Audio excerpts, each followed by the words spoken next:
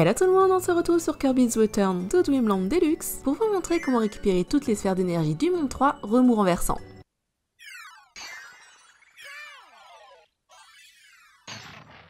Du coup c'est parti, on commence tout de suite avec la première étape et je vous laisse avec la vidéo pour vous montrer leurs emplacements.